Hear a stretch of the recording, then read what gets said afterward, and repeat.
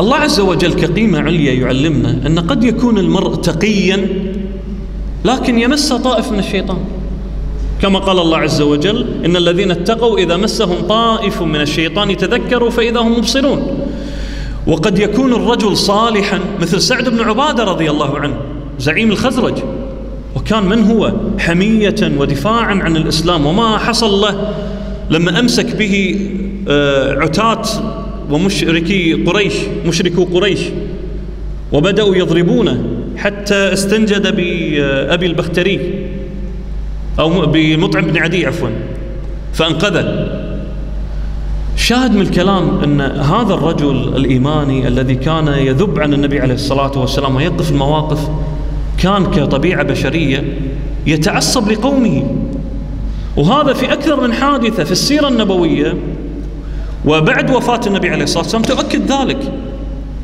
حتى أن النبي عليه الصلاة والسلام قدر هذا. قدر هذا أن لما أعطى سعد بن عبادة رضي الله عنه الراية في فتح مكة ماذا قال سعد؟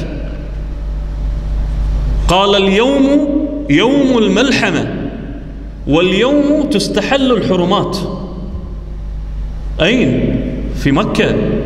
لماذا؟ لأن سعد ينظر أن إحنا نصرنا النبي عليه الصلاة والسلام ووقفنا مع النبي عليه الصلاة والسلام وهؤلاء مشركون صاغرون نأتيهم نذلهم ونستحل حرماتهم. هكذا ينظر بنظرة انتقامية. فلما رأى النبي عليه الصلاة والسلام ذلك قال اليوم يوم المرحمة ويوم يعظم فيه آه، البيت ويعظم فيه يعني شعائر الله عز وجل. فأخذ منه الراية.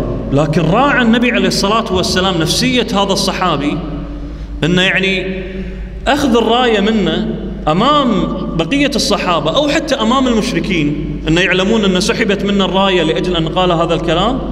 في تنقيص له وفي أذى نفسي له. قدر النبي عليه الصلاة والسلام هذا فأعطاه لابنه. أعطى الراية لابنه. حتى ما يقال أن أخذها أحد ثاني. ابنه أخذ الراية. سعد بن عبادة هو الذي كلم النبي عليه الصلاة والسلام في موضوع الأنصار في حنين. لما الأنصار بايعوا النبي عليه الصلاة والسلام اسمحوا لي على الإطالة لكن هذه مسائل مهمة جدا يا أخوة. النبي عليه الصلاة والسلام في في حنين. تضايق الأنصار لما النبي عليه الصلاة والسلام بعد الفتح قرابة خمسة عشر يوما أو حتى شهر بالكثير. وزع النبي عليه الصلاة والسلام الغنائم.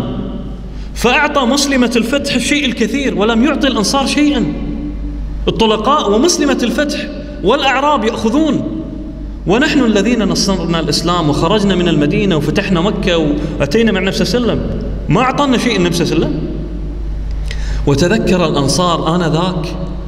بيعة العقبة الثانية لما بايعوا النبي عليه الصلاة والسلام وقالوا يا رسول الله أرأيت إن نصرك الله؟ أكنت راجعا إلى قومك وتاركنا؟ يعني نحن ننصرك ونقف أمام العرب كلهم. ثم بعد ذلك ينصرك الله عز وجل وتسلم قريش. فتنسانا وتذكر قومك؟ فقال النبي عليه الصلاة والسلام لا. بل ماذا قال النبي عليه الصلاة والسلام؟ النفس النفس والدم الدم. فالنبي عليه الصلاة والسلام بين لهم أن أنا معكم. فلما جاءت حنين ورأوا أن مسلمة الفتح من قريش أخذوا كل شيء وهم لم يأخذوا شيئا تحادثوا بينهم. هل نسي النبي عليه الصلاة والسلام الموعد؟ هل هل نسي النبي عليه الصلاة والسلام الوعد الذي قطعه علينا أن لا ينسانا؟ رأى قومه أسلموا فنسانا؟ ما أخبروا أحدا. هذا هاجس داخلي. من الذي نقل الأمر للنبي عليه الصلاة والسلام؟ سعد بن عبادة لأنه يحب قومه ويفكر فيهم وأخذته حمية وجاء إلى النبي عليه الصلاة والسلام وأخبره الخبر. وهنا دعا النبي عليه الصلاة والسلام الأنصار وجلس معهم المجلس المشهور العظيم الذي أبكى فيه النبي عليه الصلاة والسلام العيون. وأخبرهم فيه عدة أمور سأذكرها بإذن الله عز وجل حينما نتكلم عن سقيفة بني ساعدة الارتباط ذلك بهذا الموضوع. سعد بن عبادة أيضا في حادثة عبد الله بن أبي بن سلول المنافق.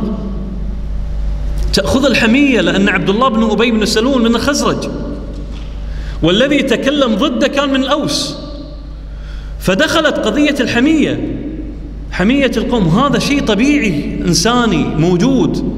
قد ما يستطيع الإنسان أن يستفرغ القلب منه وقدره النبي عليه الصلاة والسلام. يعني لما قال له آه، سعد بن معاذ قال له إنك منافق وتدافع عن المنافقين. يقول لي سعد بن عبادة وغضب سعد لذلك. النبي عليه الصلاة والسلام ما أقر كلام سعد على جلالة قدره ورأى أن هذا انفعال منه. وقدر أن سعد بن عبادة دخل عليه أمر الحمية القومية. وهذا قدره النبي عليه الصلاة والسلام. وكان من هديه أن يوجه النبي عليه الصلاة والسلام. حادثة الصحابيان المهاجري والأنصاري في غزوة المريسيع. حينما كسع أحدهما الآخر أي رفس الآخر. المهاجري يقولون حسب السير يقولون أنهما يعني وصلا إلى الماء ماء المريسيع فقام المهاجري وكان عندهم عند المهاجرين شيء اعتيادي وهذا يعني لفتة مهمة في السيرة أن الإنسان يقدر اختلاف البيئات واختلاف الثقافات. المهاجري بالنسبة للمهاجرين عندهم من المزاح شيء طبيعي أنه ممكن الإنسان يرفس الثاني. مزاح. لكن عند الأنصاري مصيبة. هذه المسألة فيها كرامة وقد تصل المسألة إلى القتل لأن فيها كرامة. فلما فعلها المهاجري وما كان يتصور أن المسألة تصل لهذا ما الذي حصل مع الأنصاري؟ قال يا للأنصار نادى الأنصار. ووجد المهاجري نفسه وحده فقال يا للمهاجرين فاجتمع الحيان. كاد يقتتل الناس. يقتتل الناس لماذا؟ من أجل تصرف فردي حصل. هذا التعصب ماذا فعل معه النبي عليه الصلاة والسلام؟ قال مثل ما البعض منا يتشدد ويظن بنظر بنظره القاصر أن الصحابي والله لا لا يتصور في مثل هذا الأمر. لا النبي صلى الله عليه وسلم قدر أنه هو بشر وأن يعتريه ما يعتري البشر وإنما علمهم النبي عليه الصلاة والسلام أن هذا الأمر خطأ وخطير. قال أبي دعوى الجاهلية وأنا بين أظهركم دعوها إنها منتنه مع ملاحظة أن الصحابة اللي الذين تعصبوا ما قال واحد أنا كويتي والثاني أنا تونسي والثالث أنا جيبوتي والرابع أنا يمني لابد عدة جنسيات. والخامس أنا عراقي. وإنما قال ماذا؟ قال ذكروا ألفاظ شرعية المهاجري والأنصاري. ألفاظ أثنى الله عز وجل عليها. لكن استخدمت بغير الطريقة المثلى التي ينبغي استخدامها. منها أيضا صحابي مثل نعيمان الأنصاري. وقعت منه هفوة وكبيرة من كبائر الذنوب أنه شرب خمرا وأقام النبي عليه الصلاة والسلام الحدود. يا أخوة الحدود الشرعية ما أنزلها الله عز وجل حتى تطبق علينا إحنا فقط. أيضا تطبق على الصحابة. وهذا المجتمع الذي أنزل الله عز وجل عليه الأحكام حتى تطبق عليه إن وقع فيه خطأ. فمظنة أن ما يقع الصحابي في كبيرة من كبائر الذنوب هذه إشكالية كبرى حقيقة. أيضا من النوازع البشرية أن الرجل قد يكون شحيحا وقد يكون شحيحا أي بخيلا وقد يكون طامعا في المال. العباس عم النبي آه، صلى الله عليه وسلم على جلالة قدره وهو عم النبي صلى الله عليه وسلم والنبي صلى الله عليه وسلم يقول آه، عم الرجل صنو أبيه يعني مثل أبوه على مكانة العباس رضي الله عنه. عجب منه النبي عليه الصلاة والسلام كما في حديث البخاري في غيره من الأحاديث عجب منه النبي صلى الله عليه وسلم لما طلب منه النبي صلى الله عليه وسلم أن يأخذ مالا فوضعه في ثوب. فكان كلما رفع الثوب من كثرة المال كان يسقط المال. ويقول عليه وسلم يعني نادي أحد من الناس يساعدك فهو لا يريد ذلك. ويضع المال ويسقط ويضع المال ويسقط. نهاية الرواية ماذا؟ فما زال رسول الله صلى الله عليه وسلم يتبعه بصره. يعني هو ماشي النبي صلى الله عليه وسلم ينظر إليه. حتى خفي علينا الصحابي يقول حتى خفي علينا ذهب اختفى. عجبا من حرصه عجبا إنه يعني كريم كيف حرص على على المال؟ هذه طبيعة بشرية. يعني الإنسان إذا حرص على المال المال شهوة طبيعية إذا أخذ بحق ما المشكلة؟ وهو أخذ بحق النبي عليه الصلاة والسلام. ولكن النبي صلى الله عليه وسلم لأن النبي صلى الله عليه وسلم كان يحثو المال حثيا ولا يهم المال كان يعجب أن العباس مهتم بالمال بهذه الطريقة. هنا نقطة مهمة يا أخوة.